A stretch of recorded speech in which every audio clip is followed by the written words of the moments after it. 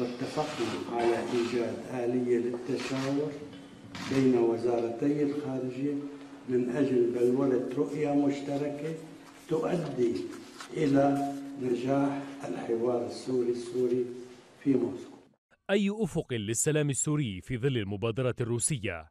وهل يمكن أن يحمل لقاء موسكو الذي سيعقد في السادس والعشرين من الشهر الجاري أخبارا سعيدة للسوريين؟ حتى الآن ليس ثمة ما يشي بأن حوار الفرقاء سيأتي بجديد. مؤشرة ذلك مقاطعة شريحة واسعة من المعارضة السورية الاجتماع من أساسه وعلى رأسها الائتلاف السوري بينما تريثت مجموعات معارضة أخرى. لا بل إن الرئيس السوري بشار الأسد نفسه غير متأكد تماما من نجاح مبادرة موسكو من عدمها. من السابق لأوانه الحكم على إمكانية نجاح هذه الخطوة أو فشلها.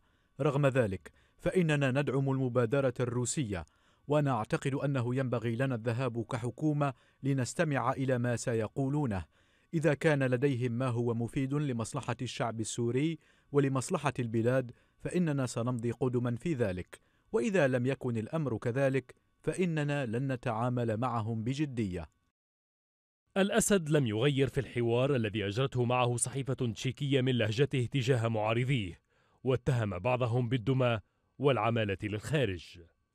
أعتقد أن علينا أن نكون واقعيين إذ أننا نتعامل مع شخصيات بعضها شخصيات وطنية وبعضها ليس لها أي نفوذ ولا تمثل جزءا مهما من الشعب السوري وبعضها دما في يد السعودية أو قطر أو فرنسا أو الولايات المتحدة. وبالتالي لا تعمل لمصلحة بلدها. وهناك شخصيات أخرى تمثل فكرا متطرفا وبين حضور هذا الطرف وذاك في اجتماع موسكو يبدو أن المجتمع الدولي عازم على إيجاد حل سياسي في سوريا خلال العام الجاري.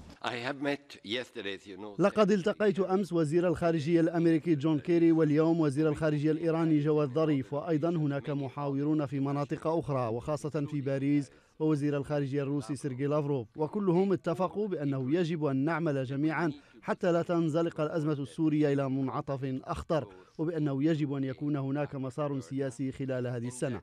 وهذا طبعا خبر جيد حينما أسمع الشيء نفسه في دمشق والمنطقة. ومهما كانت المساعي الدولية لحل الأزمة فإن الجميع يتفق على أن الانفراج في سوريا يبقى بيد السوريين أنفسهم.